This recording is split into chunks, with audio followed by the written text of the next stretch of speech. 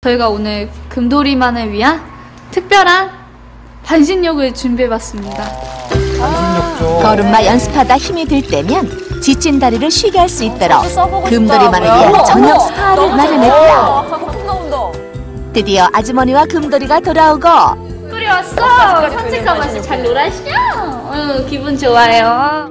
아이고, 힘들다. 금돌이 녀석은 이게 무슨 일인가 얼떨떨한 모양이다. 드디어 금돌이 전용 스파에 입성. 따뜻한 물에 몸을 아, 엄마가 담그는데 닦아주기만 했지. 네. 와 생각보다 얌전한 금돌이 아이고 좋아. 욕조에 들어앉아 아주? 편안한 네. 표정이다. 지금의 이 놀라운 변화만큼 앞으로 건강이 더욱더 좋아져서 마음껏 뛰노는 그날이 빨리 오기를. 아이고, 금돌이 그냥 인물 폈네, 인물 났어, 그냥. 어? 금돌아, 다음에는 막 뛰어서 누나 마중 나와야 된다, 알았지? 기적이라고 밖에는 설명할 수 없는 일. 좋은 날이 온 거.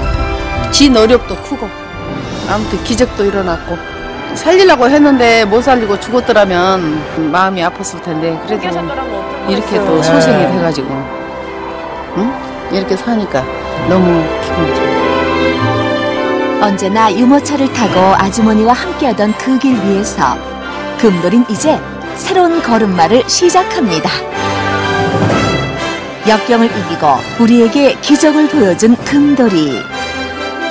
우리는 이날 더없이 따뜻한 크리스마스의 기적을 만났습니다.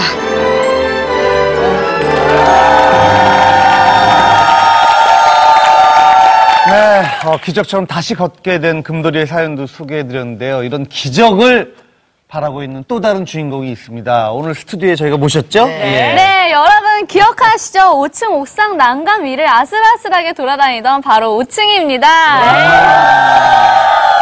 네, 어, 당시에는 다른 동물들의 공격을 피해서 난간 위로 올라갔던 것으로 추정이 됐었는데요. 네, 맞습니다. 그때 막 옥상 위에서 꾸벅꾸벅 위험하게 졸기도 하고요. 보게도 했지만 그 생활 다 정리하고 이렇게 이 자리에 나와 있습니다. 근데 문제는 요층이가 구조가 된 지 벌써 반년이 다 돼가는데 아직 가족을 만나지 못했다는 겁니다. 예, 보시는 것처럼 잘생겼고요. 그리고 아주 순합니다. 사람도 잘 따르고 이 가족을 새로 만날 수 있게 말 도와주시기 바랍니다. 맞습니다. 그 밖에도요, 목줄 때문에 목이 썩어 들어가고 있는데 구조된 백구 있었고요. 맞아요. 피부병 그 수로에 갇혔던 피부병계 당당이하고 진진이. 그 밖에도 뭐 열 마리 정도가 되는데요. 아직 새 가족을 못 만났습니다. 네.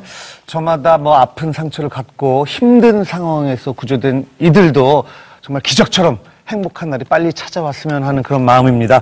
입양을 원하시는 분들 전화 부탁드리겠습니다. 저희는 2012년도에 찾아뵙겠습니다. 감사합니다.